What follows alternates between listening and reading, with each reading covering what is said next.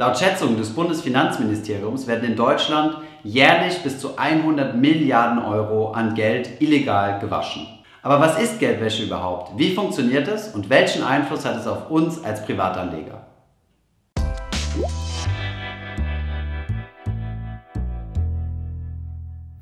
Hi, mein Name ist Thomas von Finanzfluss und heute werden wir uns einmal anschauen, was denn genau Geldwäsche ist, wie Geldwäsche funktioniert und welchen Einfluss es auf die Bankregulatorien hat und somit indirekt auch auf uns als Privatanleger.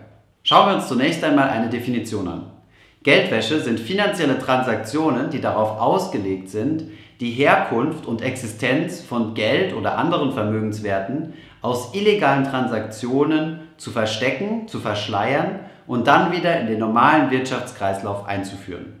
Vereinfacht ausgedrückt bedeutet das nichts anderes, als dass es das Ziel der Geldwäsche ist, die Herkunft von illegalem Geld, wie zum Beispiel aus dem Drogenhandel, aus illegaler Prostitution oder Erpressungen, zu verschleiern.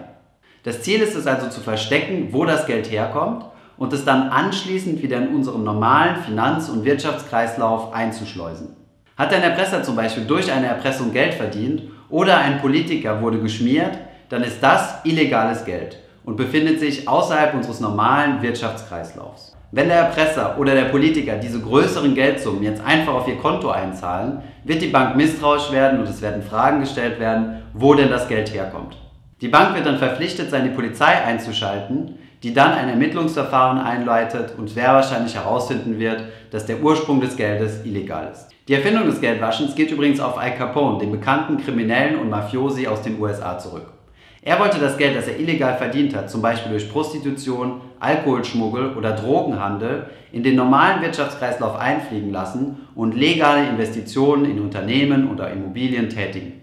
Um das zu tun, hat er sich jede Menge Waschsalons gekauft, in die er sein illegal verdientes Geld hat einfließen lassen. Aus diesem Hintergrund stammt auch der Ausdruck Geld waschen. Geldwäsche ist übrigens der gegenteilige Gedanke von Steuerhinterziehung. Bei Geldwäsche möchte ich illegal verdientes Geld in den legalen Kreislauf hineinbringen und bei der Steuerhinterziehung möchte ich legal verdientes Geld an Finanzamt vorbeischmuggeln, um keine Steuern zahlen zu müssen. Kommen wir aber noch einmal auf das Thema Geldwäsche zurück und schauen uns an, welche Schritte notwendig sind, um illegal gewonnenes Geld in den legalen Wirtschaftskreislauf einzubringen. Hier gibt es nahezu unendlich viele Varianten, da die Kreativität derjenigen, die Geld waschen möchten, quasi unerschöpflich ist. Grundsätzlich lässt sich diese Aktivität aber meistens in drei Schritte aufteilen. Die erste Phase ist das sogenannte Placement bzw. die Einspeisung. Das Ziel dieser Stufe ist es, das illegal gewordene Geld auf verschiedene Konten einzuzahlen und aus Bargeld Buchgeld zu machen. Hierzu gibt es verschiedene Vorgehensweisen. Das Geld kann zum Beispiel mit einer legalen Aktivität vermischt werden. Hierzu werden häufig Casinos, Waschsalons, Wechselstuben oder auch Restaurants genutzt. Wie funktioniert das in der Praxis? Gehen wir davon aus, ihr würdet mit Hilfe eines Restaurants gerne Geld waschen. Ihr seid Besitzer eines Restaurants, was nicht besonders gut läuft, was zwischen 5 und 10 Kunden am Abend hat, bei weitem nicht genug, um eure Kosten zu decken und ein profitables Geschäft zu haben. Trotzdem habt ihr am Ende des Monats mehrere 10.000 bis 100.000 Euro Umsatz.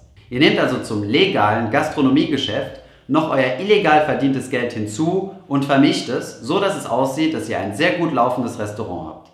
In eurer Abschlussbilanz gebt ihr auch an, dass ihr ein gut laufendes Restaurant habt, was mehrere 10.000 bis 100.000 Euro im Monat an Umsatz verdient. Die Frage, wo denn das Geld herkommt, ist schnell beantwortet. Ihr habt sehr, sehr viele Kunden, die bar zahlen. Da die meisten Geldwäscheaktivitäten aber gerade in dieser ersten Stufe auffliegen, weil sie auch am offensichtlichsten sind, ist hier auch das höchste Risiko für den Geldwäscher. Eine solche Aktivität, wie wir sie gerade mit dem Restaurant beschrieben haben, könnte dem Finanzamt relativ schnell auffallen. Von daher konzentrieren sich Geldwäscher darauf, ihr Geld in möglichst viele solcher Aktivitäten aufzuteilen, um es möglichst undurchsichtig zu gestalten. Eine weitere etwas komplexere Lösung ist es, sein Geld ins Ausland zu transferieren, eine Firma in Deutschland zu haben, die dann einer ausländischen Scheinfirma eine Rechnung stellt. Dieser Scheinfirma schreibt ihr dann von eurer Firma A in Deutschland aus eine große Rechnung über eine Dienstleistung, die nie stattgefunden hat, wie zum Beispiel eine Beratungsdienstleistung. Somit macht ihr mit Firma A einen legalen Umsatz mit einer fiktiven Firma, was aber nicht nachweisbar ist. Eine weitere Methode des Placements ist das sogenannte Smurfing. Die Strategie hierhinter ist es, den illegal gewonnenen Geldbetrag in möglichst kleine Geldbeträge aufzusplitten und in ganz verschiedene Konten einzuzahlen. Es gibt gewisse Bargeldeinzahlungsgrenzen, bei denen Banken verpflichtet sind, diese zu melden. Sie müssen dann also zum Beispiel der Polizei melden, dass ein Betrag in einer gewissen Höhe eingezahlt wurde und müssen nachfragen, wo denn dieses Geld herkommt.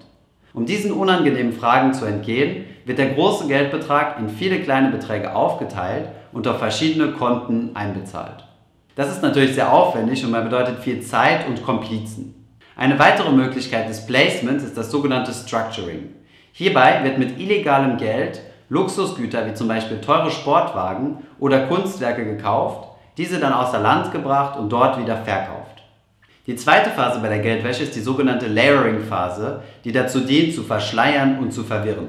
Das Ziel ist es, den sogenannten Paper Trail, also den Belegpfad, zu durchbrechen und das Geld möglichst zu anonymisieren und es unmöglich zu machen, herauszufinden, welcher der Ursprung des Geldes ist. Hierzu werden jede Menge möglichst komplizierter Transaktionen von einem Bankkonto auf das andere, häufig über verschiedene Ländergrenzen hinweg, durchgeführt. Häufig bedient man sich an dieser Stelle auch der Hilfe von Drittpersonen, wie zum Beispiel von Leuten, die ein Berufsgeheimnis haben, wie zum Beispiel Anwälte und Notare oder von verschiedenen Scheinfirmen überall auf der Welt verteilt. Eine besondere Rolle kommt aus sogenannten Offshore-Plätzen, wie zum Beispiel Panama, Hongkong oder diversen kleinen Inseln, die zum Vereinigten Königreich gehören, zu. Die dritte Phase ist die sogenannte Integrations- oder Recyclingphase. Das Ziel von dieser ist es, das Geld wieder in den legalen Geldkreislauf einzubringen, so dass man dem Geld keine andere Herkunft mehr zuweisen kann als von legalen und steuerpflichtigen Aktivitäten.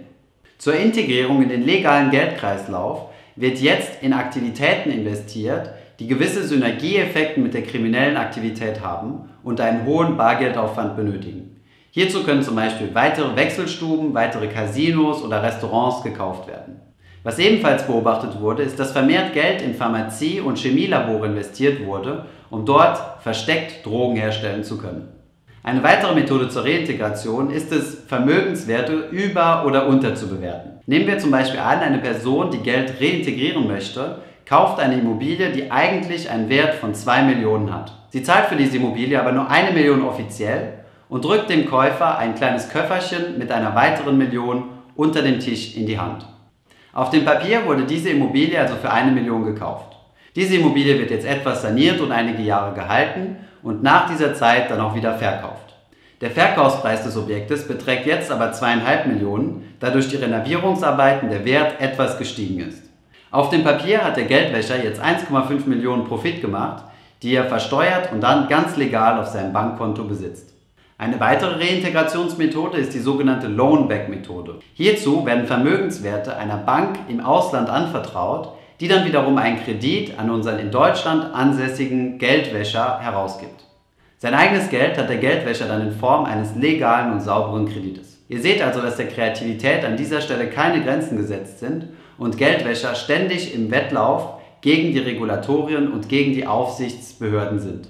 Natürlich wird eine solche Aktivität nicht einfach von Staaten toleriert. Es gibt zig internationale Institutionen und Kooperationen, die den Zweck haben, Geldwäsche und Terrorismusfinanzierung aufzudecken. 1993 wurde das erste Geldwäschegesetz in Deutschland verabschiedet. 2008 wurde es dann nochmal überarbeitet und um die sogenannte Terrorismusfinanzierung ergänzt. Die Geldwäschegesetze haben auch darauf Einfluss, wie Banken mit uns Privatkunden umgehen. Sie sind zum Beispiel dazu verpflichtet, bei Kontoeröffnung eine Person oder ein Unternehmen zu identifizieren. Ihr könnt deswegen in Deutschland kein Konto mehr aufmachen, ohne nachzuweisen, zum Beispiel mit eurem Personalausweis oder eurem Reisepass, wer ihr tatsächlich seid. Darüber hinaus müsst ihr die Geldwäschebestimmungen der Bank unterschreiben und die Bank ist dazu verpflichtet zu melden, wenn es suspekte Transaktionen auf euren Konten gibt. Indikatoren für Geldwäsche sind zum Beispiel viele Konten, hohe Bargeldeinzahlungen, Lagerungen von Bargeld bzw. Mitführung von Bargeld, Geldtransporte und das Akzeptieren von schlechten Konditionen bei der Geldanlage. Dass schlechte Konditionen bei der Geldanlage akzeptiert werden, kann daran liegen, dass Geldwäscher einfach ihren Banker guten Gemütes stimmen wollen, der eine hohe Marge hat und somit nicht besonders motiviert ist, diesen Geldwäschefall zu melden.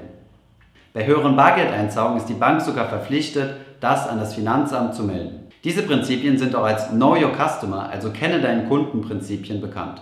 Sie gelten nicht nur für Banken, sondern auch vertrauenswürdige Personen wie zum Beispiel Notare oder Anwälte, die ein gewisses Berufsgeheimnis haben.